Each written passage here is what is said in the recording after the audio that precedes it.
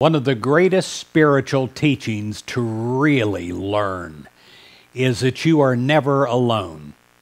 When you know this at the core of your being, it is a foundation that you can stand on, that you can be secure on, that you can spring forth from. In Isaiah 41, verse 13, it says, For I, the Lord your God, hold your right hand it is I who say to you, Fear not, I will help you. Whenever it says right hand, it is talking about right side. I hold the right side, the right ways. I am taking you in the way that you need to be led. It is good to know that you are never, ever outside the presence of God never outside the circle of God's love and God's care. If in any way you feel alone or if you feel lonely, you remember that God is with you and you are never alone.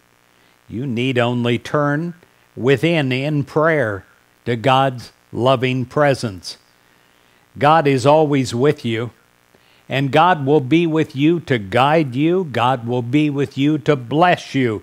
God will be with you to help you in any needed way.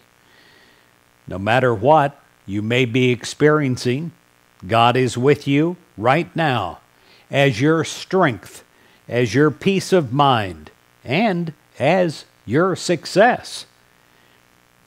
You relax and you know that you're not alone. That is a huge foundation principle on which to build your life on. You are one with God, and one with God is a majority. You are never without the inner resources of strength and courage. You are never powerless.